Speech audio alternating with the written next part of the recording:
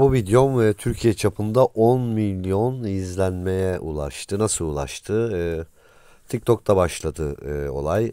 E, oradan Twitter'a e, geçti. Twitter'da e, milyonluk hesap sahipleri e, bu videomu paylaştılar. E, tabii e, kar topu etkisiyle e, video 10 milyon gibi rakamlara ulaşmış oldu. Twitter'da fenomenler paylaştı. Mesela Sakalar isimli e, bir fenomen paylaştı videomu. E, iki gün içerisinde e, 7 Kasım'dan 9 Kasım arasına 409 bin e, izlendi ki bu ekran görüntüsü de eski yani şu an 450 bin falan oldu o adamın hesabında. Tabii bunu 1800 2000 kişi e, yaklaşık 2000 kişi paylaştı. Tabii bu 2000 kişinin de takipçilerini düşünün ama sadece bu sakaların paylaşımını 2000 kişi paylaştı. Yani sakalar gibi e, paylaşım yapan başka e, fenomenler de var. E, onların paylaşımını da yaklaşık 2000 kişi paylaştı. Yani yaklaşık olarak bu videomu Türkiye çapında Twitter'da, Facebook'ta ve TikTok'ta 100 binden fazla kişi paylaştı. Bu da çarpan etkisiyle beraber ne oluyor? İşte 10 milyona yakın bir kitle oluyor.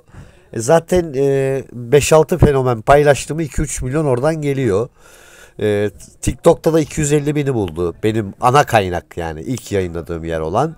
E, ben bu videoda ne anlatıyordum? Ben bu videoda e, dincilerin e, e, hakaret davalarıyla nasıl e, insanları korkutarak e, paralar e, talep ettikleri ve bu paraları aldıklarını anlatıyordum. Şimdi aşağıya link vereceğim. İzlemiş olduğunuz bu videonun altına link vereceğim videoyu izlemeyenler tekrar YouTube'dan izlesinler. Bu arada YouTube sansür uyguluyor. Niye sansür uyguluyor? Çünkü YouTube emperyalistlere ait. Emperyalistler AKP'yi destekliyor. Biz AKP muhaliflerine YouTube e, sansür uyguluyor. İzlenme sayılarına makas vuruyor.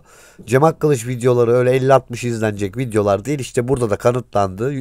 E, bu videomda da kanıtlandı. Ama ben gene de YouTube'a ee, yani video atmış olmak için atacağım. Ee, artık herkesi TikTok'a bekliyorum. Ee, TikTok evet TikTok'ta gerçek sayılara ulaşıyoruz. Twitter diyorum bu arada eski ismi X oldu. X'te de fenomenler zaten paylaşıyor videolarımı. Ee, kısa sürede işte 10 milyonu buldu arkadaşlar. Şimdi açıklamalar kısmına bakın altta linki veriyorum oradan izle, izlemeyenler izlesin lütfen. Çok önemli bir video aslında bu yani.